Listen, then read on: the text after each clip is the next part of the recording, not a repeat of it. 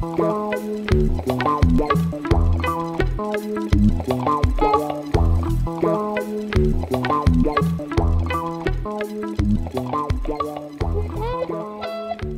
was uh, told I was, went a little fast last time, so please stop me uh, often and slow me down. I'm also awake today, which should help. Um, so last time we talked about some general uh, formalism of what topological field theories are. Uh, and we also discussed a couple of examples. Um, in the two examples, we said that if we have, if you have C, uh, a, a, DG category, uh, we can ask for it to define a two-dimensional topological field theory. For it to be two-dualizable is a very strong condition and it, it, means that this category is, um, has this property of being smooth and proper. Uh, and we, we gave two examples of this. Um, and the two examples are maybe the most concrete example is uh, maybe I'll call 2D Yang-Mills, but finite group Yang-Mills. We just start with a finite group, and we take a category of representations of the group, um, that's sort of the, the kind of most concrete example. Uh, and the, uh, the most well-known example in some ways is, is the B model, where we take X to be a smooth and proper variety. Um, and then we look at uh, the derived category, say the, the big, where if we're working with big version, we like quasi-coherent sheaves on X as our category, and this defines a two-dimensional topological field theory. Uh, if we drop smoothness or properness, uh, we don't get something two-dimensional. We still get something one-dimensional. It still gets something one-dualizable. Similarly, if we drop the group being finite, we still get invariance for one manifold, but we don't get numbers for two manifolds. Um, and that's going to be a much more typical situation in what we'll see today. When you go beyond two dimensions, except for examples basically built out of finite groups, it's uh, over C, I don't know any examples of things that are really full du fully dualizable, things that make it all the way up to numbers. And so um, we're not going to make it up to numbers at, in the end, but we're going to be able to construct a lot of examples of things that make it almost there. So, um, so here's a main class of examples I, I want to start with. Um, is suppose we take any commutative ring or commutative ring, well, by, by ring I mean commutative differential graded algebra. And again, everything I'm, I'm talking about is going to, I'm only going to work over C. Uh, any commutative ring R is n plus 1 dualizable uh, for any n. So what does that, what do I mean by n plus 1 dualizable for any n? I'm going to, I can think of a commutative ring, can, I can consider, I can consider the ring R as an n category, n category for any n. And what this claim is that this n category is going to be n dualizable, which is not as much as you might have hoped for. Uh, if n categories, the collection of n categories forms an n plus 1 category. So you might have hoped for something to be n plus 1 dualizable, but uh, it doesn't make it this way. And so what is, what is this construction? What, how, how, do you think of a commutative ring as an n category? You can think of it in this kind of very degenerate way as an n category with one object and one one morphism, one two morphism, one blah, blah, blah, blah, blah. Or you could just say, given a commutative ring, R, we can look at R mod. Look at the category of modules for R. Because R is commutative, this is still a symmetric monoidal category. And so it makes sense to talk about modules for R mod just module categories for this symmetric monoidal category. And then we can look, but because this is symmetric monoidal, R mod still has a commutative multiplication. So you can look at R mod mod and so on, and just do it however many times you want. That's how you make an n category out of a commutative ring. Um, again, I might rather think of it as, a, as, an n category that's generated by a single object and one, one, a single one morphism and so on, and a bunch of, of n morphisms. Okay, so this is, uh, so now the claim is that this construction is dualizable for, for any n. And now what is the, um, what is the construction? This is, what is the field theory? This is something that already appeared in Bertrand's talks. Um, so, so if M is a manifold, well, but in fact, I don't need it to be a manifold for this construction. Suppose you take M to be a homotopy type. Just M uh, is, just a, is just a homotopy type. So this is not going to be sensitive to anything about the geometry of manifolds. Uh, Bertrand told us about taking derived mapping spaces. We can talk about spec R, spec R to the M. So this is the, or just the, the derived mapping space from the homotopy type M to the affine derived scheme spec R. Uh, and this is, again, some, some affine derived scheme um, over here. And, and we can look at functions. So, and we can look at functions on uh, this, this ring, on, on look at functions on spec R to the M. So this is a ring, you can just say this more directly in terms, instead, of, instead of saying in mapping spaces. This is a construction you can directly say in terms of the ring. We take out the ring and we tensor it with M. So there's an operation of taking commutative DGAs and tensoring them with simplicial sets or homotopy types. So given any homotopy type, or I'm going to think of that homotopy type concretely as a simplicial set, I can form this derived tensor product. And I mean, maybe you could, if you're already happy with this mapping space, you could just define it this way. Or you can just write it down concretely. Uh, it's just an, you know, this, this derived mapping space is some, what is the derived mapping space? It's some kind of, here's my simplicial set, and I'm trying to map it into spec R. This is some um, iterated fiber product, iterated derived fiber product. I have a bunch of points. So I have here three copies of spec R, and then I have a bunch of equations. So I'm taking a bunch of fiber products of those copies, and then I'm taking, imposing some more equations and some more equations, and so on. Uh, you can write the same thing on the level of the ring. You could say that, um, you know, if I give you a simplicial set, I can take a copy of R at each vertex, and I can take a relative tensor products. I'm going to take R, tensor R, with these modules. So here I'm just going to identify these two R's. I can take a bunch of, so I put R's everywhere, and just take a, make a big tensor product. So I'll leave you to write this down more formally. And then you have an R in the middle that acts on everything in sight. And so you could just write down some big um, co-limit, some big uh, iterated tensor product. Um, and that's what, that's what this um, R tensor a simplicial set is. So, so the idea is that for any manifold M, we'll attach um, this, this, this ring, R tensor M. Well, how does that look like a field theory? If, again, this works for any simplicial set, but suppose this is a K manifold then I'm going to, to think of this um, as, a, as a K category. I mean, this is a, yeah, uh, in a second, yeah, yeah. Oh, not in a second. Um, so yeah, so, so the, the, basic example of this is just that. Uh, so if you take R tensor S1, then that just means, uh, let me write the circle a little differently. I have R and R and R and R. So you get R tensor R as over R tensor R, which is exactly Hochschild homology. If, uh, we could call it topological if you were dealing with spectra rather than um, DGAs. Uh, so for a general simplicial set, you have a general construction, which in the case of a circle is the Hochschild homology. And so it's a kind of higher, you can call it some kind of higher Hochschild homology. Um, and that's and then that's may, maybe a good thing to think about what the whole cobordism hypothesis is. The invariants we attach to manifolds are some higher versions of Hochschild homologies. Um, so that's so that's the the example. And in this case, it's functions on spec R to the S1, which is, as Bertrand introduced, is the loop space. Is this derived loop space of spec R. So functions on derived loop space are Hochschild homology. Um, so and how do I think about this as a field theory? Well, again, all of these outputs, all of these tensor products are, again, commutative rings. Everything here inside is a commutative DGA. So again, I can think of it as a K category for any K I want.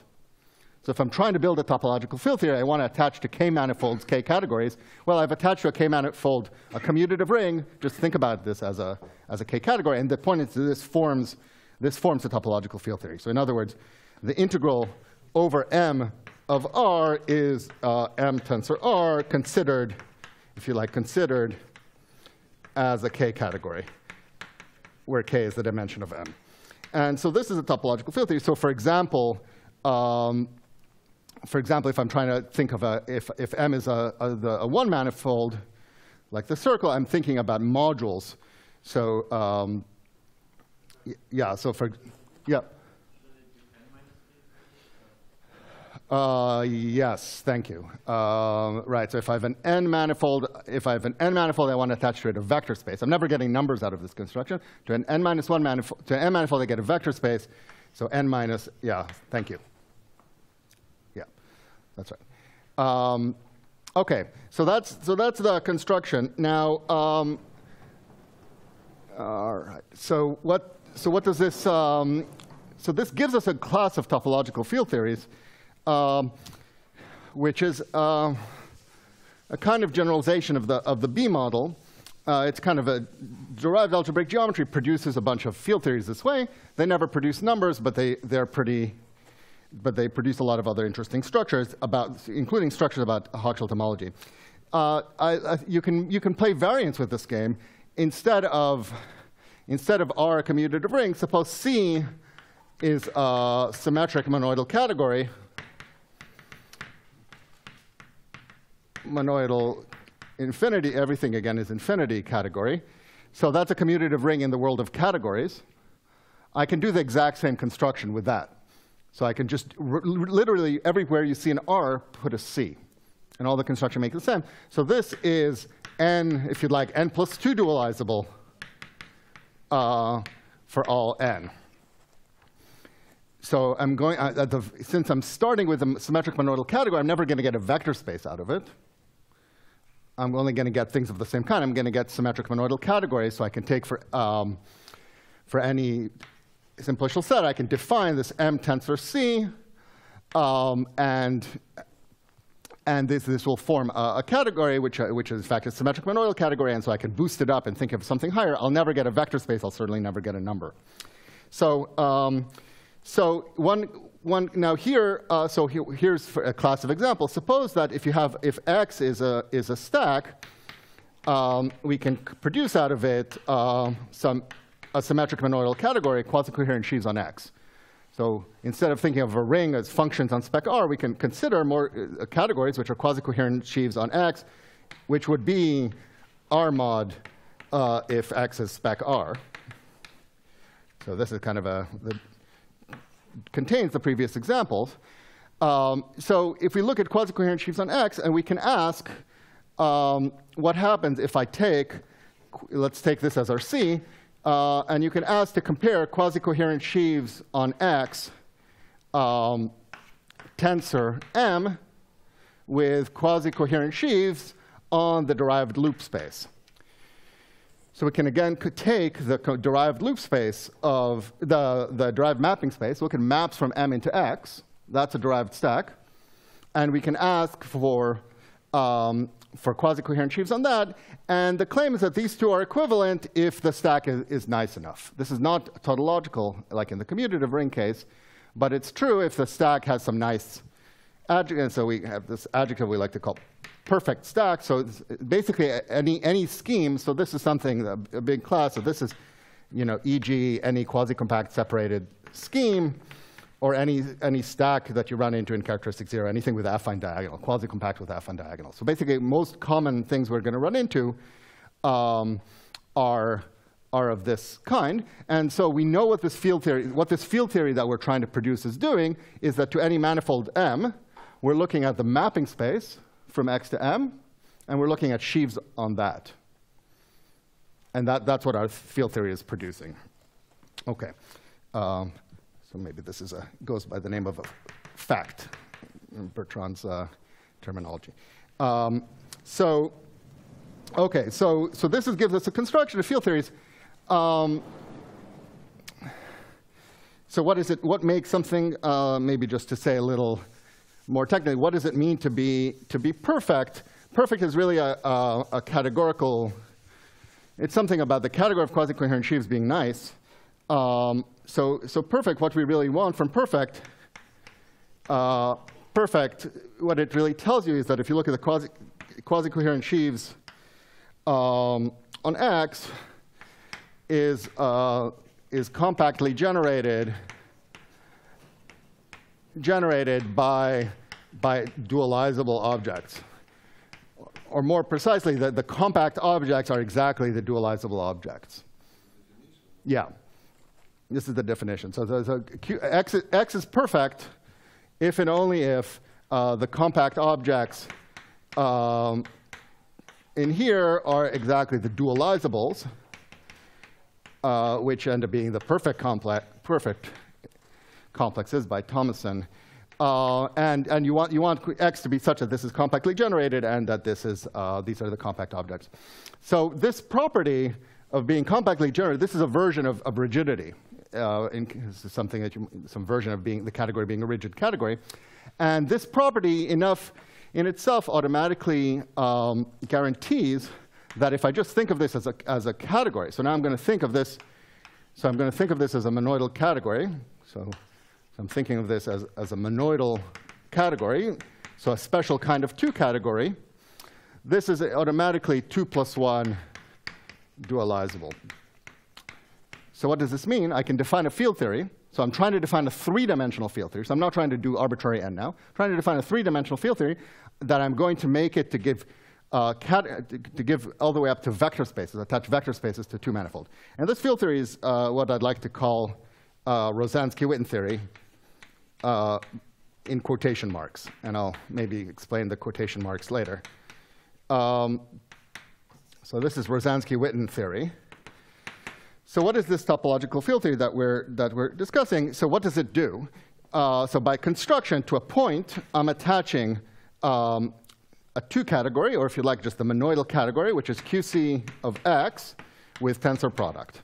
So I'm thinking of this as a monoidal category, or if you prefer, you, you can think of attaching um, QC of X mod as a two category. So this is exactly, um, so this, by a theorem of, of, of Dennis's, is the same as uh, quasi-coherent sheaves of categories, exactly in the sense that we had in the previous talks, of categories um, over X. Okay, so this is a, a version of one affineness. Yeah.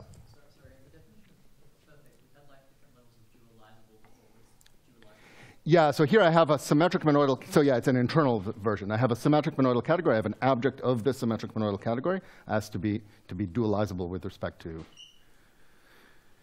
to that symmetric monoidal structure. And I want the, compact objects and the dualizable objects, you have different notions what you might mean by small, and you want the different notions to agree.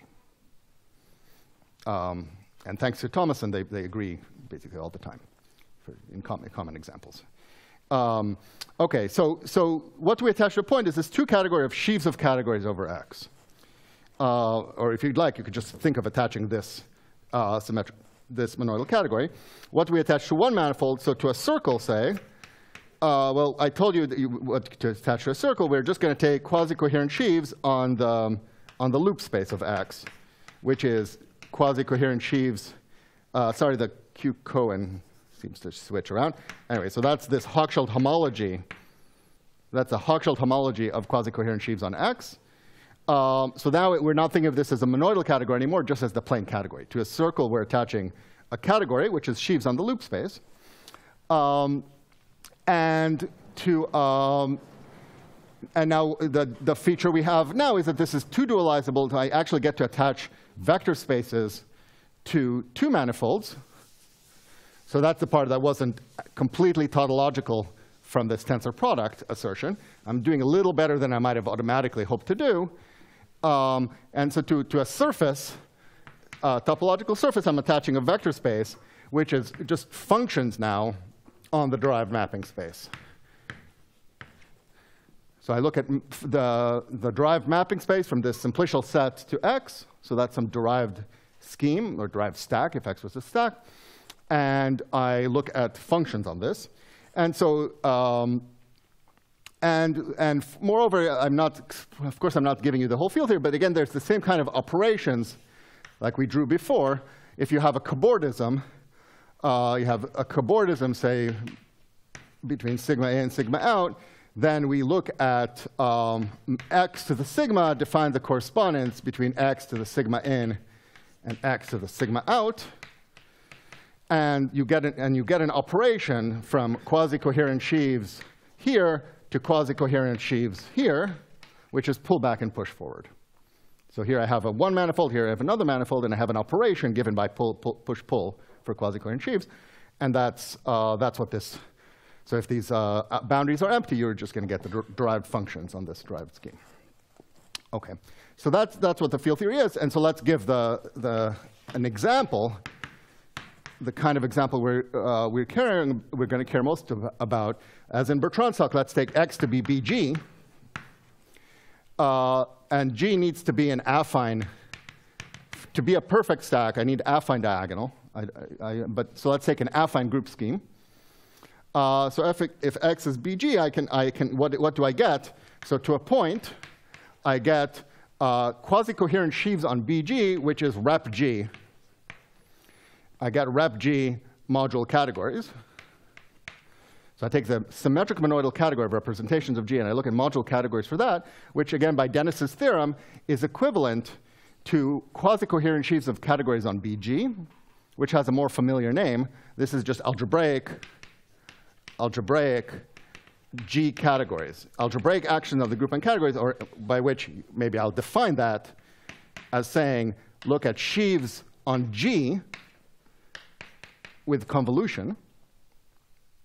So here, G is a group, so it has a ma map G cross G to G. You have a push forward for that, def that defines a convolution on sheaves, and you look at modules for this. So this is the kind of categorified group algebra. Look at modules for that. And uh, so that's what we're attaching to a point. To a point, we're attaching rep categorical representations of G in this algebraic sense. And to the circle, we're attaching uh, quasi-coherent sheaves on the loop space of BG, which is the adjoint quotient, G mod G. So it's kind of character or class sheaves instead of class functions, which is adjoint equivariant sheaves on, the, on G. And to a surface, we're attaching functions on bg to the sigma, which is local systems g on sigma. I'm using always the Betti sense of local systems. So this is um, the Betti space of local systems on the topological surface sigma. So we have functions on this derived scheme of local systems. So that's an example of this theory, of this, what I'm calling Rozansky-Witten theory. Now, uh, maybe I should say, why is it why is it called Rozansky-Witten theory, and why is it called Rozansky-Witten theory in quotes? Um, and Rozansky-Witten theory of what, also? Um, and so this is, if you look at Rozansky-Witten theory, if you read the literature on Rozansky-Witten theory, Rozansky-Witten theory is, is, is a three-dimensional topological field theory attached to a holomorphic symplectic manifold. Uh, and, it's, uh, and it has the feature, it's attached, first of all, to a holomorphic symplectic manifold, and it also has the unfortunate feature of not uh, giving uh, z-graded vector spaces, as you might have hoped, but only z mod 2 graded vector spaces. So what, does that have to do with this? So let's just assume, just for simplicity, that X is a scheme, or let's just say smooth scheme. I don't know if the smoothness is terribly important. Let's suppose X is a smooth scheme. So what are we? So what I'm claiming is that this, what we're constructing, this Rozansky-Witten theory above, is, is, is very close to what you might call the Rozansky-Witten theory, without quotations, of the cotangent bundle of X. Now, what does it mean, Rozansky-Witten? What is the characteristic feature that you want to say it's Rozansky-Witten theory of cotangent bundle of X? It's something that when you compactify on the circle, so it's supposed to be a 3D field theory, that when you compactify on the circle, you're supposed to get the B model the B model of T star X. Um, now, again, T star X is certainly not uh, proper. So when I say the B model, I'm not going to get invariance for two manifolds here. So I'm not going to get invariance for closed three manifolds here. But uh, so this, this just means the 2D field theory attached to the, the derived category of quasi-coherent sheaves on T star X. But here I only get it two periodically. I only get it. I only get this if, if I make this guy um, two periodic. So I tensor it, if like with polynomials on epsilon, and epsilon inverse, where the degree of epsilon is 2. So I'm getting a, a two-periodic version of the B model. Uh, and so how does that have to do with what we're doing? If we look at uh, the relations given by Koszul duality. So if you look at, um, well, what is compactification on the circle? That just means we cross everything with a circle. So let's just look at what we attach to a circle. To a circle, we attach quasi-coherent sheaves on Lx. Now, what does Lx have to do with T star x? Uh, well, Lx, uh, as, as, has been explained a couple times, is isomorphic to uh, the shift of the tangent bundle of x. Uh, so quasi-coherent sheaves on the shift of the tangent bundle of x are very close to being quasi-coherent sheaves on the cotangent bundle of x um, with, with another shift. Uh, but again, we've, we've, we should know better if you really try to compare, so, and this is, this is given by, by Koszul duality. So this is modules for some exterior algebra. This is modules for the exterior algebra on differential forms. And this is modules for symmetric algebra on the tangent bundle with a shift. Um, hopefully I got my numbers right. Um, and, but, but really, this Koszul duality does not replace quasi-coherent sheaves with quasi-coherent sheaves because, uh, the, for example, the symmetric algebra itself here doesn't, which is a compact object here, doesn't go to a compact object here. The symmetric algebra here goes to the structure sheaf of X of constant loops inside of loop space. So really what you need to do is to, this, what you get from here is not quasi-coherent sheaves on the cotangent bundle, but some completed version. So this guy is really a completed version of quasi-coherent sheaves on the cotangent bundle. It only sees quasi-coherent sheaves near the zero section on this cotangent bundle. Um, so what you really want to do is replace this with, uh, with IndCoh. So what you would really like is a version of Rozansky-Witten theory. You don't want to get QC of the loop space. You want to get IndCoh of the loop space. And for that, you really need to change what you attach to a point. That's something that's being done, but uh, hasn't been done yet. Um, so, so, you're, you're, so here what you're seeing is, a, a, is not the whole cotangent bundle, but just a little formal completion. And what is this nonsense about two periodicity? The point is that you really, in Rozansky-Witten theory, you shouldn't have been thinking about a holomorphic symplectic manifold. You should have been thinking about a graded holomorphic symplectic manifold. That really what you're getting is not the ordinary cotangent bundle, but the cotangent bundle with a shift. So if you want to ignore that distinction, you can work two periodically. Here there was nothing two periodic. Okay, so uh, we'll, we'll see this issue coming up again and again um, of this IndCoh versus uh, QCoh, of course, as we've already seen in many other talks. Um, so that's why I'm calling it Rozansky-Witten theory in quotes. You really want to, it's some small version of Rozansky-Witten theory. You want to, it's sort of a completed version, and you want to uncomplete it, replace QCoh by IndCoh everywhere. Okay, so that's, um, that's one class of example of topological field theory. And questions? Okay, so um, there's a, a, variant of this that I am fond of as um, another three-dimensional topological field theory, um, which called character theory.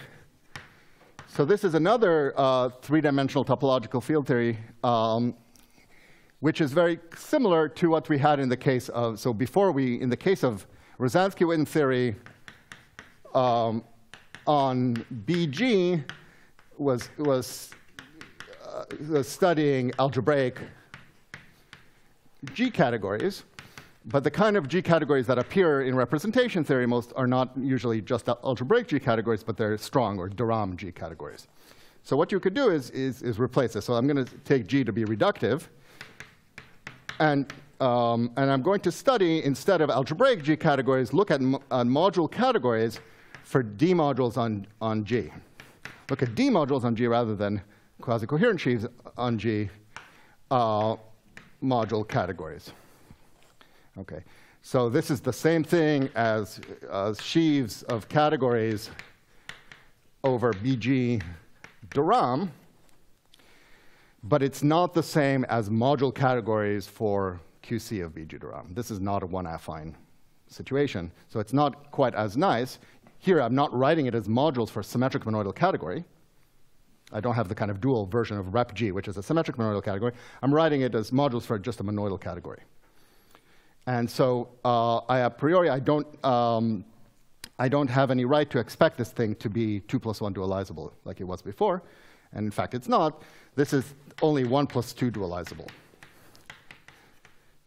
In other words, it's trying to be a 3D field theory. It doesn't make it very far. Um, so we'll try to fix that. But let's just say, um, so it's a, monoidal, it's a monoidal category, so it's kind of an algebra. We said algebras are always one dualizable. This guy doesn't have a choice but to be one dualizable. It doesn't do anything better than what it has no choice to do.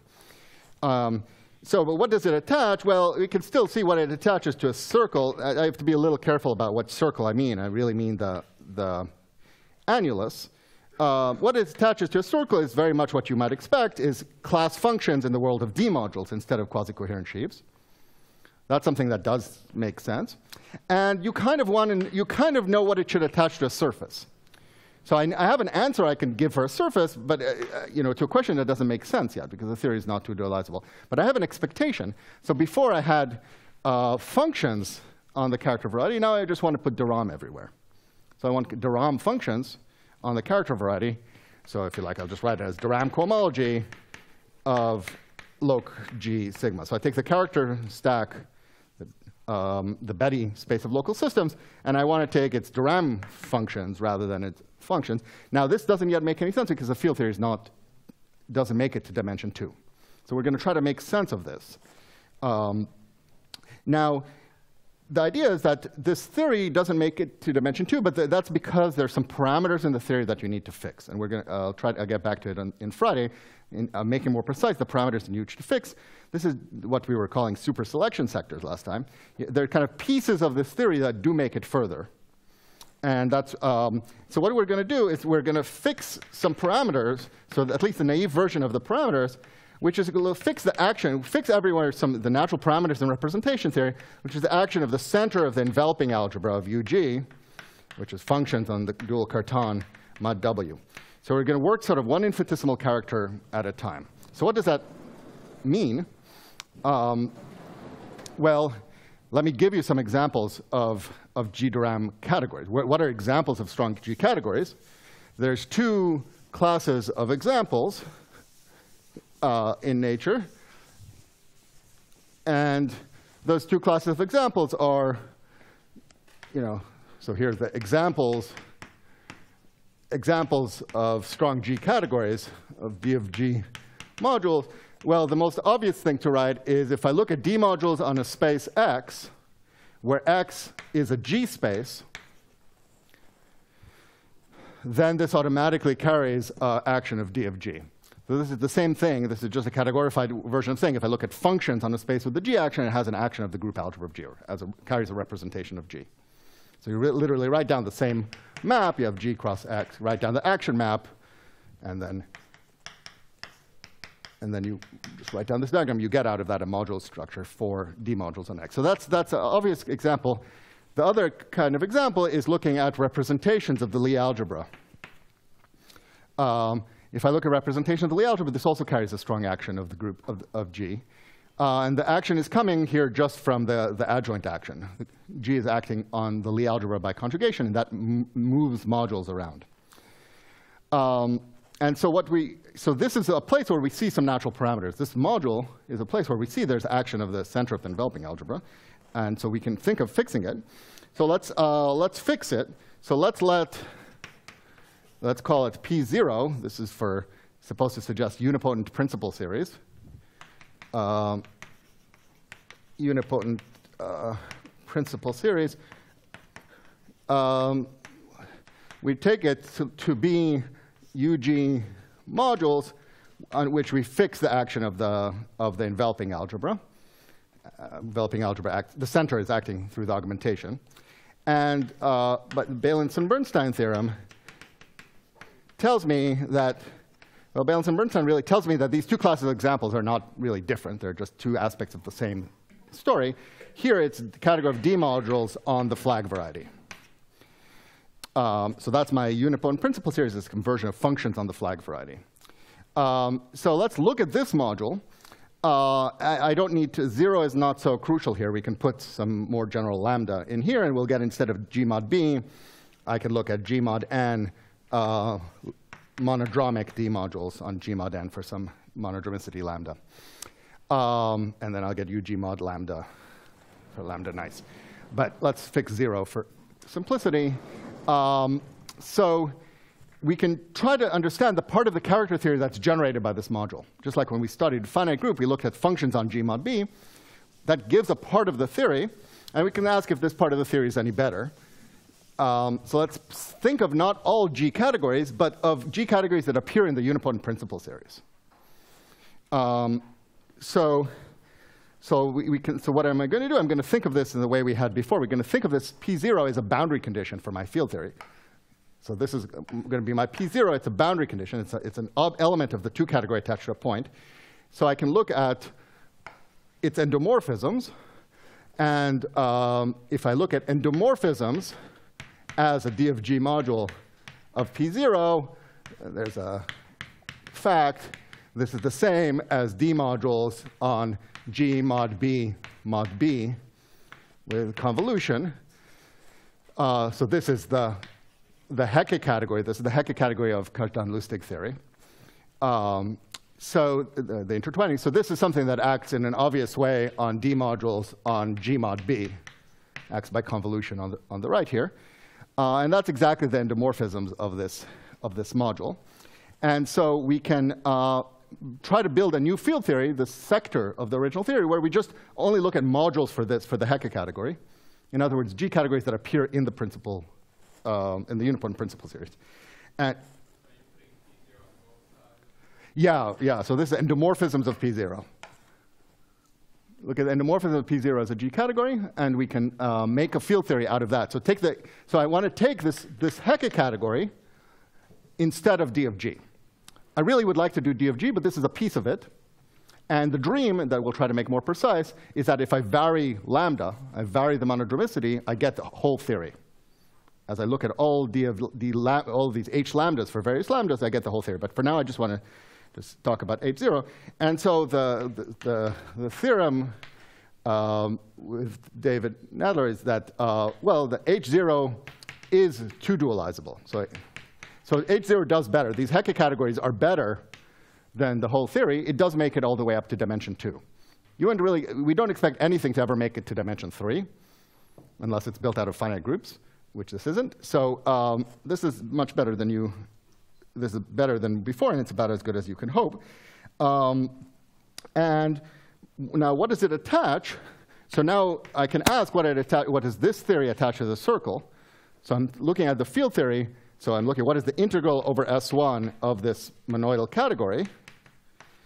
And the, and the claim is, well, of course, that's, again, basically by definition, the Hochschild homology of this monoidal category.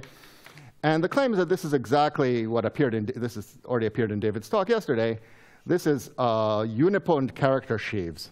So this is, this is, looks at, these are certain D modules on G mod G uh, with nilpotent singular support and an extra parameter. This, there's a parameter which is a central character, which is zero. So what this means is if you look at D modules on G mod G, you have uh, the center of UG acts as differential operators, which are uh, G bi-invariant. So you look at, um, you can look at G bi-invariant differential operator, and you want to fix the action of the G bi-invariant differential operators on a D module here. Um, so we fix the action. So the central character is saying that we fix that the center of the enveloping algebra acts the same way it does as on the Harish-Chandra system. Harish-Chandra system, uh, let's see, Harish-Chandra sub zero, which is the eigen system. I look at, um, I could just write down z dot f equals uh, the, I guess, the augmentation of z applied to f. I look at eigenfunctions of the center of the enveloping algebra, thought of as bi-invariant differential operators. So this is a particular system of differential equations. This is the one that Harish-Chandra wrote to describe characters of representations. So I'm writing eigenfunctions of the in bi-invariant different. This is, just means augmentation. So it, the center acts as it does on the trivial representation. Um, and so we, so we look, so what we get as the Hochschild homology is exactly uh, the unipotent character sheaves. Uh, and again, you can put in lambda everywhere if you don't get other, other parameters. Um, so this is what you attach um, to the circle. So in particular, you, uh, and, um, and just maybe again to connect to David's talk, the Hochschild homology is, has a universal property. It's something that, that's a target of a universal trace. Um, so given uh, any algebra, we always have a universal trace map to Hochschild homology of A. Um, that's, that's the universal trace map. Uh, and so here we need to, what is the map from uh, H0 to character sheaves, And it's given exactly by the horocycle correspondence.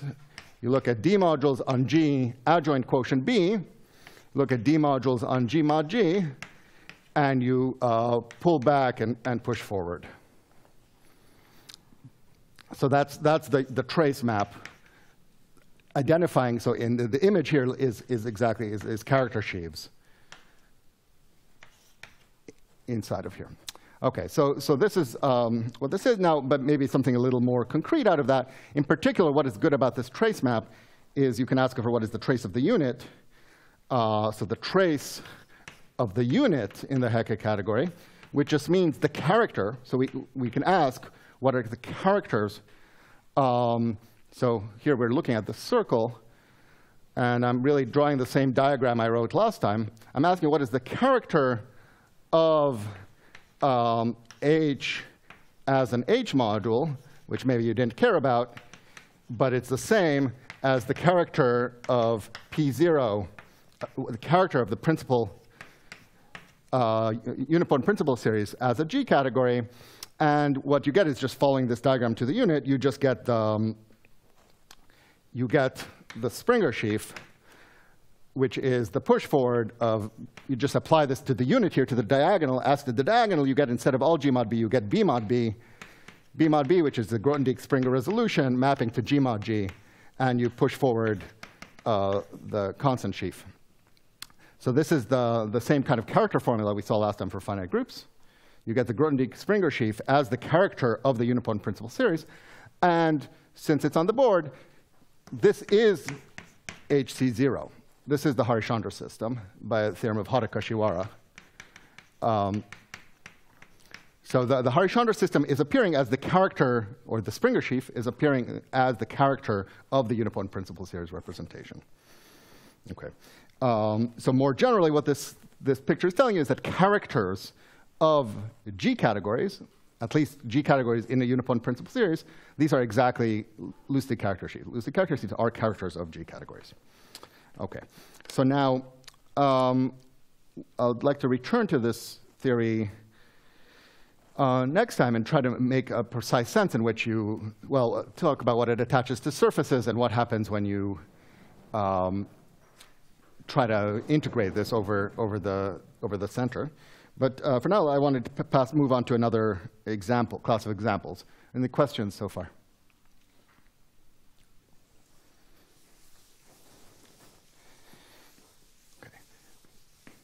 So I want to discuss uh, one more class of examples of topological field theory. Now I want to make it up to four dimensions.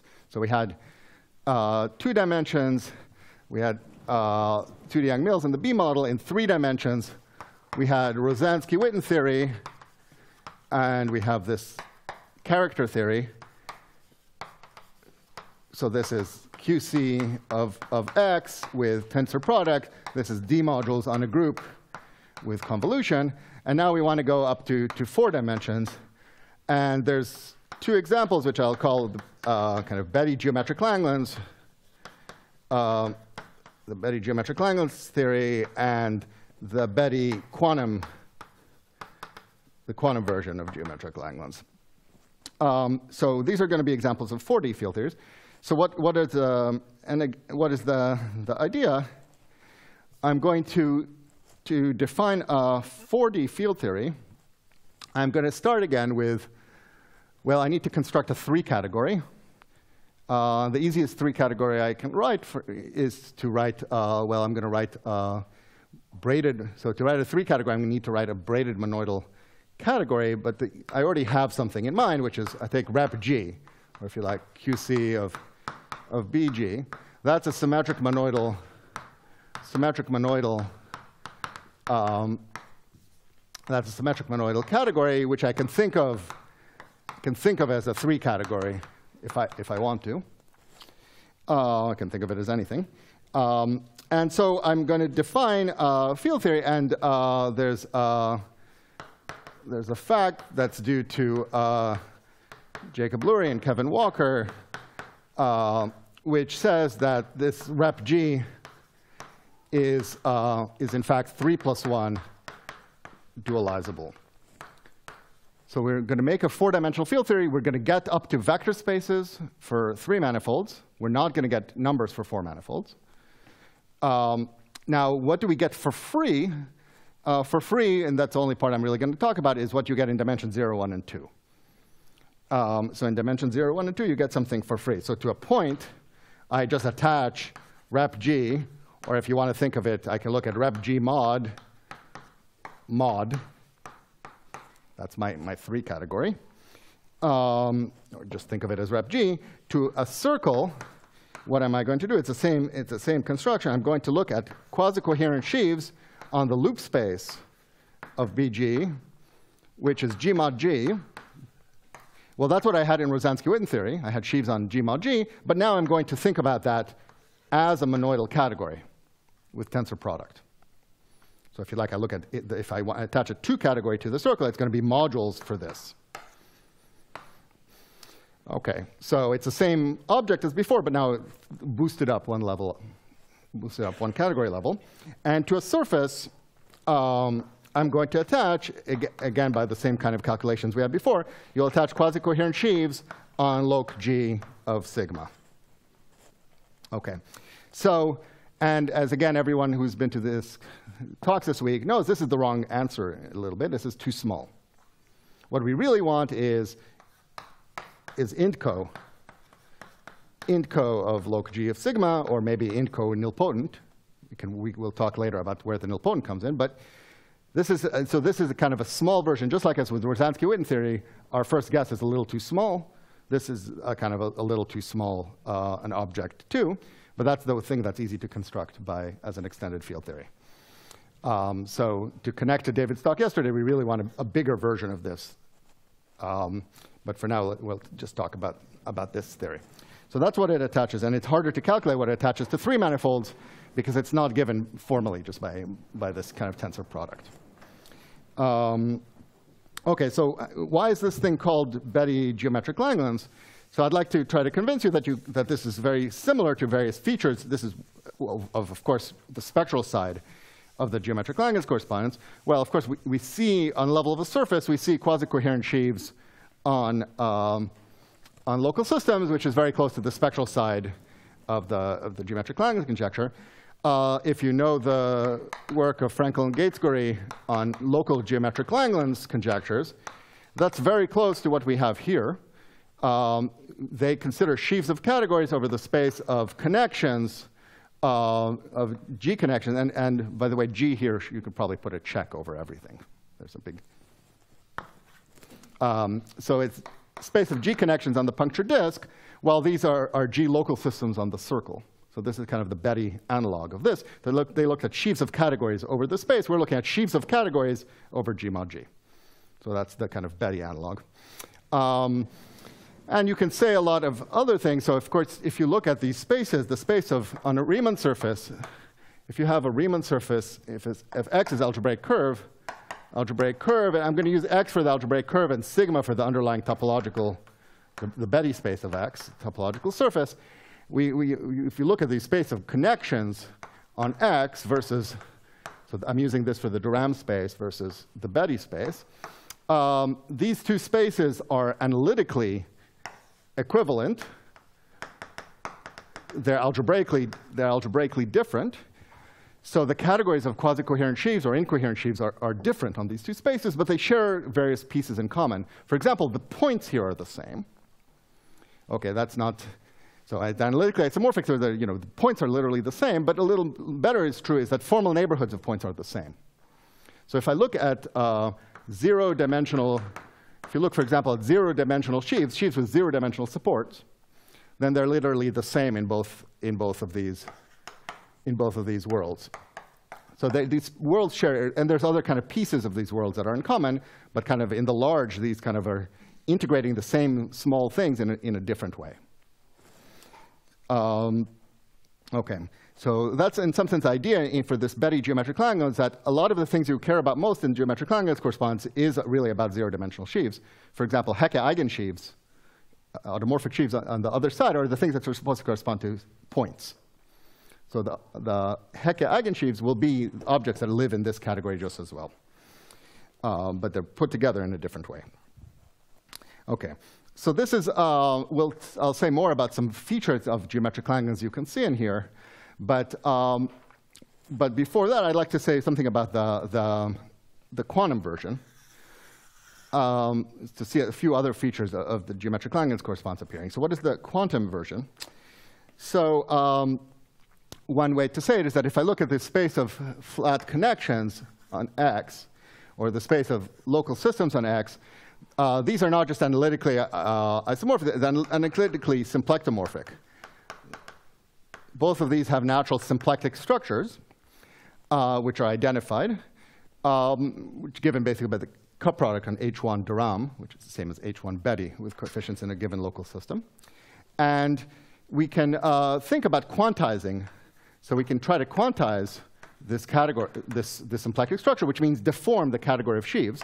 So we're going to quantize uh, this category instead. So here, when you quantize uh, space of connection, the quasi-coherent sheaves on connections on X, you get something that is very familiar in geometric Langlands correspondence. You get D modules on bun G of X that are twisted.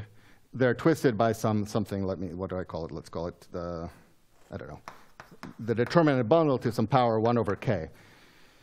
So you look at twisted D modules for very, very large twisting. There's a, this canonical determinant bundle on bun G of X. Look at a very, very high power of it, look at twisted D modules on this space, and they converge as the twisting gets high to quasi-coherent sheaves on the space of flat connections. Yeah. Oh, sorry. Thank you. Thank you. Yeah, absolutely. Yeah. So we'd like to similarly have a quantization here. Um, and so let's say something about what that quantization is. And again, that quantization can be done on the level of the whole field theory, not just on the level of a surface. Uh, something that's going to be the analog of twisted D modules which starts to look a little more like geometric Langlands correspondence. Once you work in the world of twisted D modules, you can't really tell if you're on G or G check side. The two sides start to look the same. So um, that's why I'm, why I'm happy just using G's instead of G checks. Um, so let me, let me try to define a, a, a quantization of the right-hand side in the language of field theory. So what do I need to do this? Well, I, I want to give another class. There's another class of uh, field theory. So we said that we said that before that R commutative ring, given R commutative ring, you could define R tensor M, where M could be any any simplicial set or any homotopy type. Uh, and this was going. This is how we defined these field theories. We took we, in, we defined a field theory integrating M over R. Now there's another class of things you can also do the same thing with, which is uh, EN algebra. So now I'm going to take R to be an EN algebra. So what is an EN algebra? It's, you can think of it in a few ways. We said it's an, I can think about this as an N category uh, with one object, one morphism, one two morphism, one three morphism, blah, blah, blah. So it's a, it's a very degenerate kind of a maximally degenerate N category.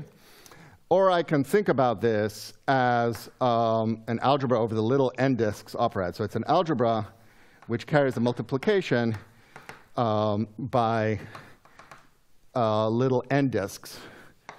So it ha has a structure of multiplication that every time I see a collection of elements labeled by, by disks inside of a big disk, that gives me a product operation on this algebra. Or I can think about this as algebras in algebras, in algebras, in blah, blah, blah, in DG vector spaces. So these are things that have n-compatible multiplications. That's, and you should think of this as the different axes going on here. So it's something that has a bunch of compatible multiplication. So this is a class of n categories that includes what we had before. So this is really the E infinity.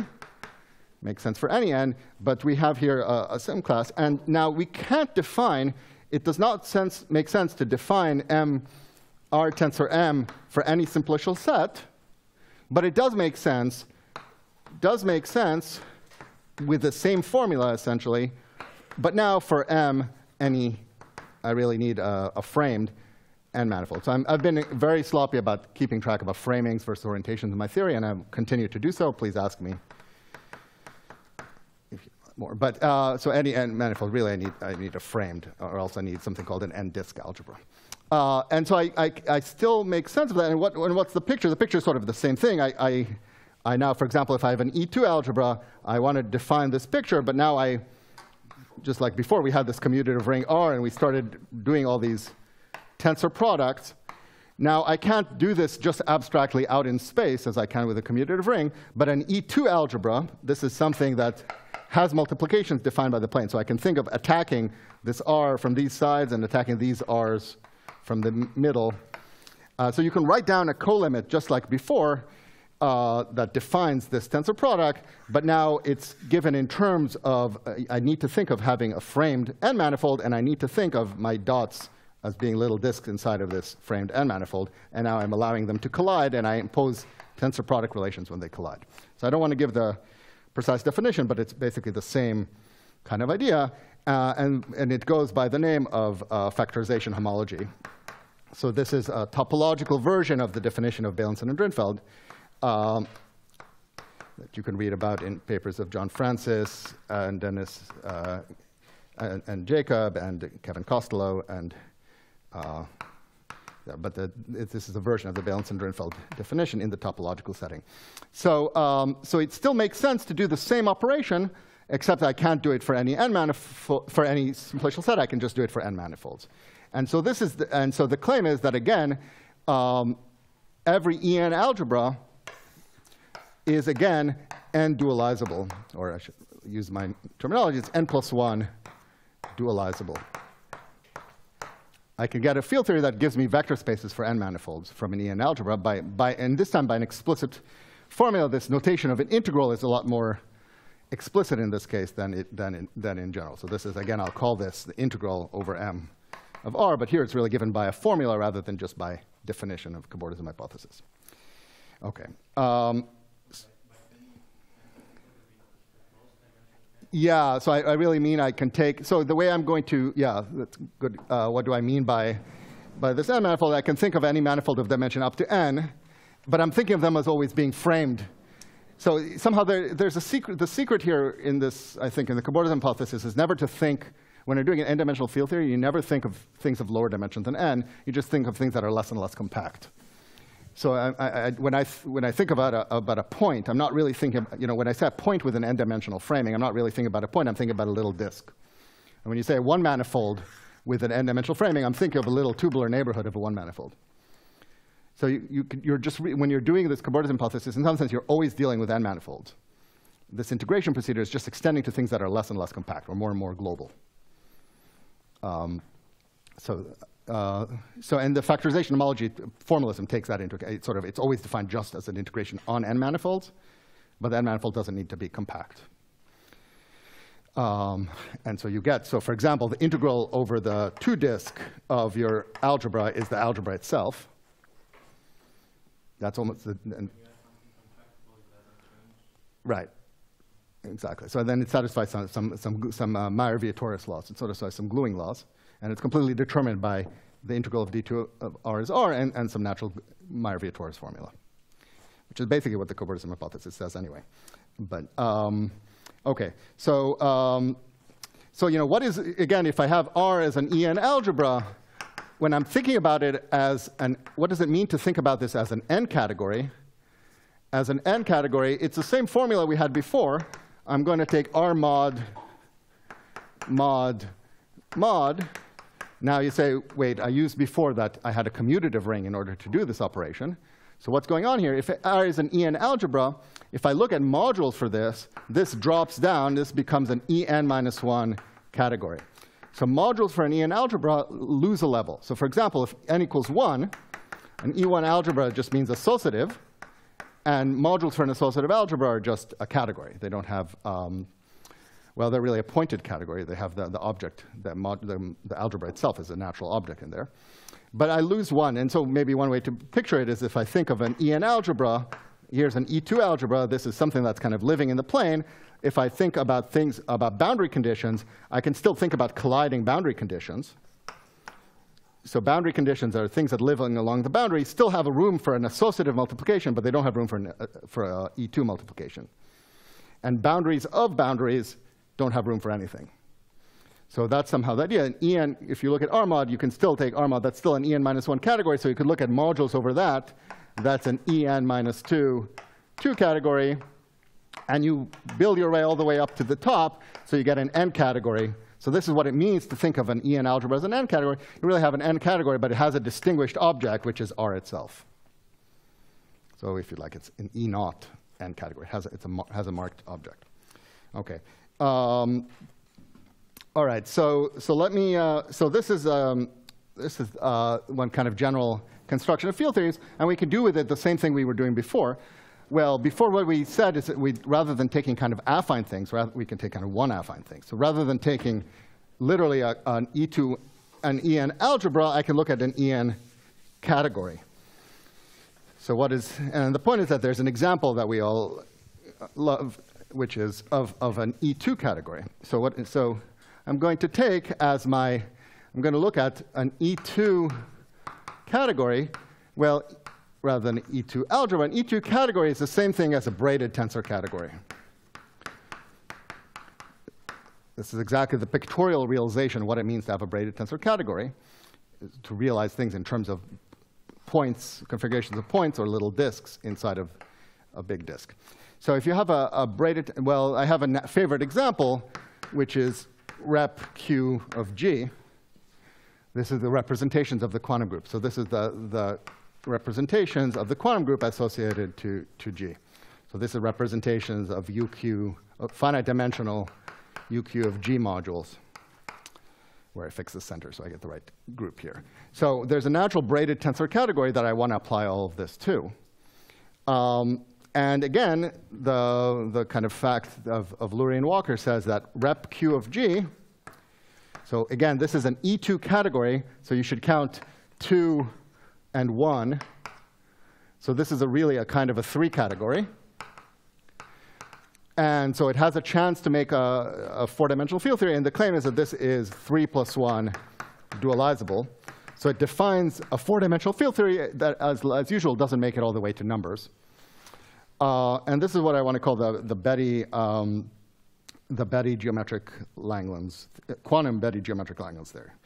Um, okay, so, so this is what my field theory is. And so you can ask, for example, um, and so this, is, this defines a field theory, which, which is this, I don't know, it's too many letters, the Betti quantum geometric Langlands theory. Um, okay, so now um, so what, what things do we, what kind of features can you say about this theory? Well, for example, you can look at what are its boundary conditions. So to give a boundary condition, so that's the kind of things you attach to a point. These are the kind of things you attach to the theory on a point. Uh, well, how can you write a boundary condition?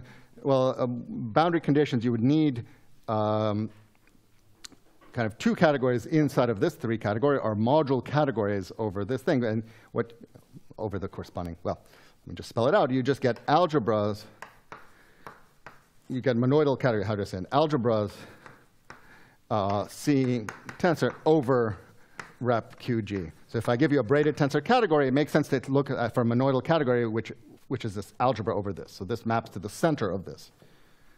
So it's a monoidal category with a map from this to the center of that. So, okay, so that's, that's a kind of thing you can have. So you can, where do such things come? For, for example, if you look at rep q of, of Borel, that's an example of a, of a boundary condition in this theory. Um, and um, in fact, you can make rep q of a Borel. Well, a rep q of a Borel is better than a boundary condition. It's a domain wall. Rep q of the Borel is a bimodule category. It's an algebra object in bimodules. This is, an, in fact, an algebra object in bimodules, in bimodule categories for representations of, of G and of the torus. So it's really something that's defining a domain wall between the T theory and the G theory. So this is, a, this is exactly, a, this lifts to a domain wall. And this domain wall has a name. This is what we call, this would be geometric Eisenstein series. Of course, you can do this for other, other parabolics. So this theory has things like geometric Eisenstein series. It has functoriality for parabolic induction. These are natural domain walls in, in the theory. Um, and you can see lots of your other favorite structures appearing.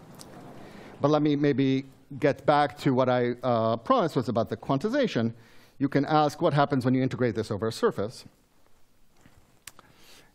Um, And, and I should point out just as in Arinkin-Gaitsgory, you find out that if you're careful, if you really want to integrate, this, this boundary condition is not going to be too dualizable. This domain wall is not going to be too dualizable. On a surface, you know you don't, Eisenstein series don't want to live in the quasi-coherent world. They want to live in the ind-coherent world. So it's a well-defined boundary condition, but it doesn't make it up to surfaces unless you, you kind of decomplete your theory. But let, us ignore this kind of subtlety. Um, so before, we had the space of connections, G connections on a Riemann surface, space of G local system on the topological type, and we quantized that. We looked at D modules on bun G uh, of X at some level. You can similarly quantize this guy, and the quantization here, that's exactly what our, that's the point of all this construction. The quantization here is just what our field theory attaches to the surface. It's integral over the surface of rep Q of G. So this is a category that's a deformation of quasi-coherent sheaves on the character variety. So that's this quantization of the character variety that we're identifying. And uh, this is kind of the Betti analog of twisted D modules on bun G. So um, what, how can you, what other, what features makes it analogous? So for example, one of the imp most important things we know about this is that there's a, a, a Beilinson-Bernstein localization here. You can construct twisted D modules here. Uh, you can construct them by taking uh, integrable representations. Um, how did I how did I want to write it? Um, look at you could look at uh, integrable representations of the affine Kac-Moody algebra at level. I guess I called it one over k. Look at integrable representations at that same level, and there's a natural localization functor. These these representations give rise to D modules on this space. Um, it's kind of a Beilinson Bernstein construction. Uh, so you can ask, for example, what is the analog of this construction? But we have the Kazhdan-Lusztig equivalence that tells us that the same category of integral representations appears and here. It is just rep q of g. And so, and there's a natural functor here. Yeah. Arbitrary it can be a root of unity. I mean, th yeah this, this construction is sort of Q is arbitrary. Um, yeah, so you have a, and what is this construction? This is something we've already mentioned. This is the analog for an associative algebra. Remember, we had a map, a trace map from the associative algebra to its Hochschild homology, which was A, the integral over the circle of A. And similarly, when you have a canonical map from any EN algebra to the integral over the, um, over any manifold of, uh, of R if I choose a point. I need to, so what is this map? This, uh, maybe this, it's not canonical until I've chosen a point, just as this is. This map doesn't, it depends on the choice of a point. I need to tell you where I'm, I'm looking at bundles, and I'm going to trivialize those bundles near a point and then use that to construct representations. The same thing here.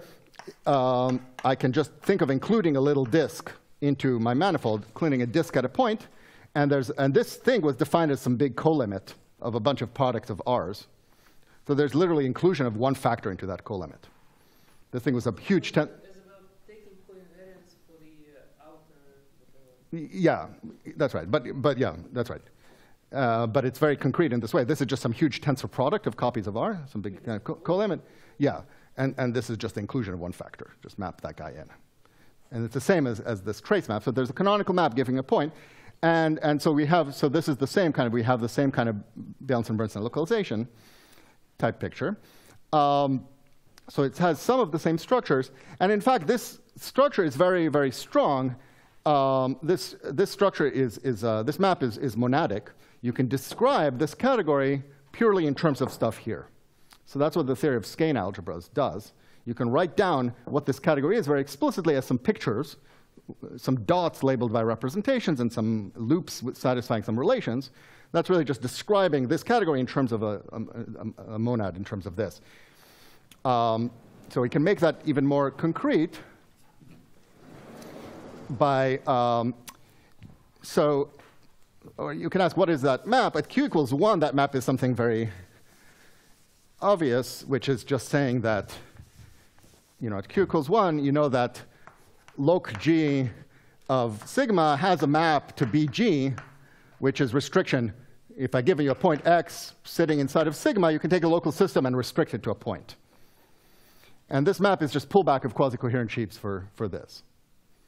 So there you get a map from rep G to QC of loc G sigma. It's just pullback. Now this map is an affine map. So this, this is an affine variety over BG. And so you can describe anything you want in terms of here, in terms of here. In fact, this makes uh, QC of loc G is not just a functor. This is, in fact, is a module category for rep G. This is a monoidal map. You can tensor, tensor sheaves here by sheaves here. So this is a module category. And so you can describe QC of loc G sigma. Saying it's an affine, you can describe QC of loc G sigma is the same as mod. You can describe it as modules for some object in rep G. There you can write down an algebra object in representations of the group and write sheaves on here. It, in other words, it just functions on this thing, thought of as a representation. Uh, you can write this as modules for, for rep G. And so you can write down a, an explicit algebra object in representation of G. That's, and uh, the same thing works in the quantum setting, except in the quantum setting, you, you still have this functor. You only have this module category structure if, you, um, if you're a punctured surface. You need to have a puncture you, in order to really get the structure, not just of a functor, but a module category. I need to give you a, a, a punctured surface with a marked point on the boundary. So I need a kind of enough room to act. I need enough space Maybe I can think of extending this to a little color. I need enough room for my bubbles to kind of float around to make this into a module category. But in any case, if I take, if sigma, if I look at sigma minus x, um, if sigma is a punctured surface, then you can really write this integral over sigma of loc g, uh, uh, sorry, integral of sigma of rep q of g, this quantization of the character variety, is equivalent to modules over explicit algebra in representations of the quantum group. You can write this down very explicitly. This is done in a paper with uh, Adrien Brochier. So all of this comes from a paper with Adrien, uh, David Jordan. Um, so you can write down a very explicit algebra, and you get algebras that you kind of know and love if you study quantum groups. For example, if you take a punctured torus, you get the, exactly the algebra A is what's known as the algebra of quantum differential operators on G, the, the, algebra of differential operators on the quantum group. So you can write down explicitly what all these algebras are and describe the, these categories. So that's sort of one pleasant feature of this, of this Betti story is everything is very concrete. Um, okay. Um, When Q is 1, it's literally, you know, so local systems on a, on a surface are given by, you know, I have a bunch of copies of G, one for each loop. Uh, you know, present the fundamental group, you have a bunch of products of G's. Then you have some equation that they all have to satisfy. You know, some product of commutators equals 1, mod G. So if you look at it over BG, or if you like, if you trivialize at a point, it's an affine variety. It's a product of, it's a one equation in a bunch of copies of G. So it's an affine variety saying, I'm just saying it abstractly, it's an f variety over BG. So that means its modules are a ring. That ring is just ring of global functions.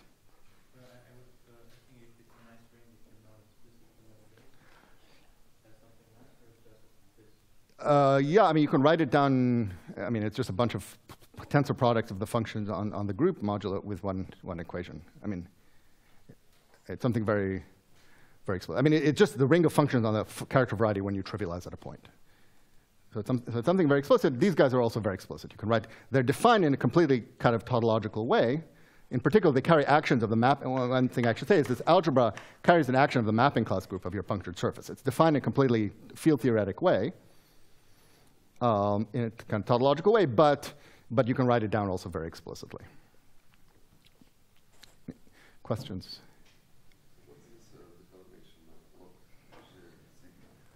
Well, the, I mean, so this deformation is, has been written down by various people in various languages. This is, the, you know, you can quantize character. So these character varieties are explicit varieties. You can write down. Uh, I'll get. I won't get all the name, but there's uh, Fock and Rosly and Senesh and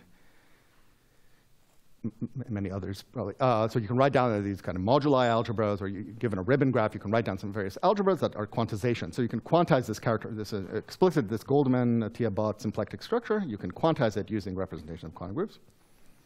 And that's what this category is. It's modules for those quantized algebras. The, the point, the new point maybe is that you're right, getting it sort of out of, it's just a part of a field theory. Getting some abstract structure on it that maybe was harder to see, but that's, that's sort of the well-known quantization. Okay. Other questions?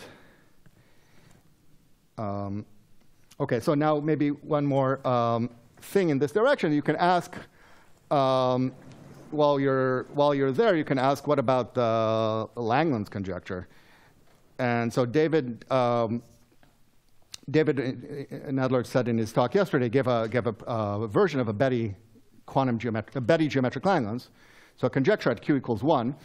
Uh, that you can also make a conjecture when q is not equal to 1. It has a very different flavor. So one side of David's conjecture was kind of a constructible story about, about Bun-G and something that wasn't yet clear how to make into a full field theory. Uh, the Kapustin-Witten story tells you that you should expect um, an equivalence of that, that Langlands duality that geometric Langlands is, uh, is supposed to be an equivalence of field theory, is, supposed to be some equivalence of field theories. let me call it ZQG is equivalent to ZQ check G check. So here, ZQG is, is what I'm using for this notation where I integrate over various things representations of the quantum group. That's this field theory. Um, so you can, you can make a conjecture. Now, the nice thing about uh, Q not equals to 1 is that both sides look the same. Just like as in usual quantum geometric lines, both sides look like twisted D modules with opposite twistings. And here I'll get the formula probably wrong, but it's something that, you know, what is, what is the relation with the K? You know, the relation, I guess I should have said in the Kazhdan-Lusztig story, the relation with K is something like e to the pi i, and maybe there's some factor if you're not simply laced, and there's K plus a dual Coxeter number. So it's some complicated expression. And then and what we're supposed to do in, in Langlands is take k goes to something like 1 over k, but again, maybe with a, with a shift. So it's k goes to minus 1 over k. We can do integral shifts if we want. Um, and this is, uh, so we're supposed to do level k for g and level k check uh, for g check. Um, and the quantum geometric Langlands is uh, saying the same kind of thing for this theory with q and q check. So you can write down what q check is in terms of the formula. If you just first write the formula, it looks a little unpleasant because you're saying, you know, q goes to something like e to the minus 1 over log q or something, and you write that down and you think this sounds awful. Uh, but then, then you realize what this is saying. Let's, let's sort of ignore the difference between g and g check. Let's, you know, maybe we're gln or something. Um, this conjecture is saying, the, the conjecture really says, says that our, this field theory, zq of g, is um, is, some, is something, is really the Q expansion of some kind of a modular expression, of a modular, of a modular field theory. In other words, that the field theory is not really depending on Q. You're writing down a field theory in terms of a parameter Q, but you're really doing kind of, you're writing it down in some sense, something where Q is really representing the Tate curve. You're really trying to write down a field theory that depends on an elliptic curve, and you're writing it kind of formally in some parameter, so it looks kind of not maybe so pleasant, but that's exactly what happens when you try to write down a modular form.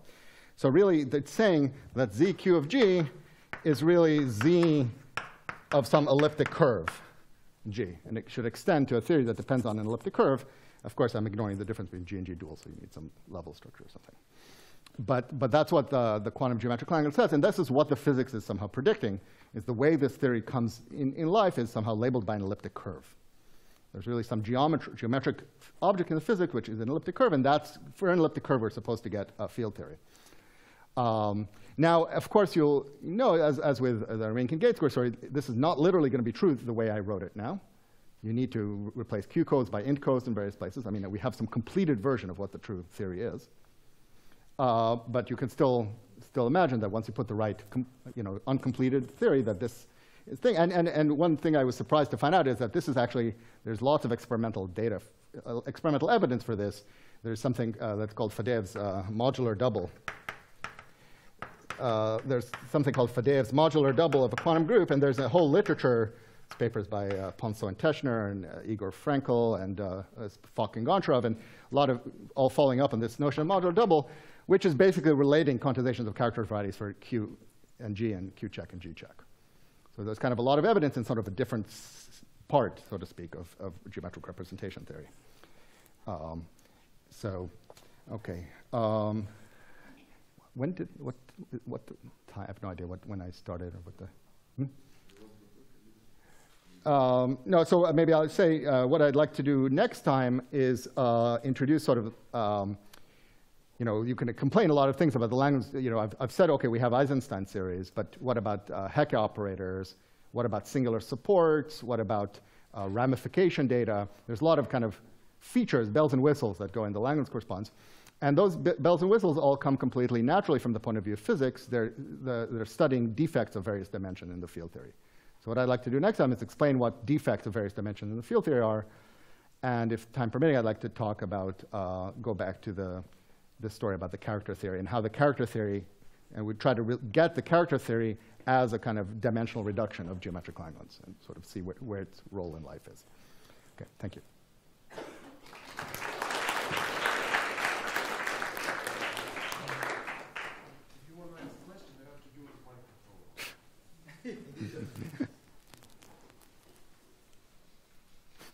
That, that closed everyone. I think there's one in the back.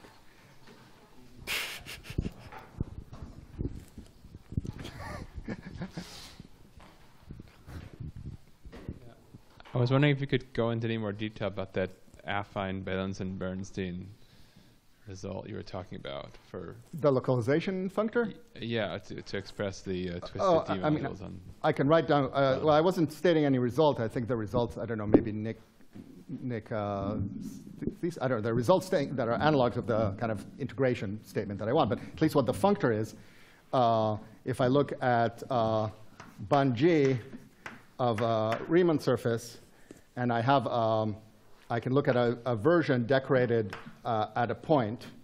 Uh, so I look at look at bun GX. I can look at bun X with X, which is uh, so it's G bundles uh, plus an infinite level structure. So a formal trivialization uh, near X. So this is a torsor for the positive part of the of the loop group.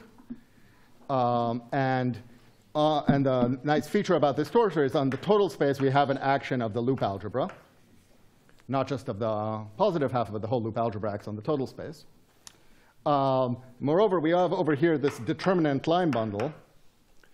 Uh, well, the determinant line bundle lives, lives here. I can pull it back. Now, the determinant line bundle and the action of the loop algebra lifts if I take the appropriate central extension. If I take the determinant bundle to k, this lifts to a level k action of the, of the Kac-Moody central extension. Um, so, and so the idea is that if I give you a, a representation of the Lie algebra, it maps to twisted differential operators on here, twisted by this representation. So the, Lie, the enveloping algebra at level k maps to differential operators here. Given a module for this, I can tensor it with differential operators. So I, if I give you a module M, I can take, I can take, um, I get a D module here, which is just tensor with differential operators, twisted M over the enveloping algebra. And then because it was a G of O integrable representation, it descends. This is a G of O integrable thing. So this, uh, this is G of O integrable representation uh, meant that this thing has a descent structure. It gives you a twisted D module on G of X. So this is the, the kind of Beilinson-Drinfeld construction, how you relate representations of Kac-Moody algebras to D modules on bun G. Um, and um, yeah, and, and I believe there's statements, I don't know, Nick will say what they're, but some statement that the, some version of chiral homology of this, this category is giving you something that's something, okay, Nick agrees. Uh, so, so, so there's an analog of the result on the other side that the, the, the categories was, um, so I think it's harder to state on, on, on the quantum group side, literally the chiral homology, the, the factorization homology of rep q of g was this quantization of a character variety, and there's a similar picture. This category of twisted D modules on bun G of X is closely related to chiral homology of representations of the Kac-Moody algebra. So this is kind of the, the quantum, quantum group version of, of that story. It's kind of different flavor, but Uh, and this, these ideas have all come from uh, some Gaitsgory and Lurie manuscripts. Um,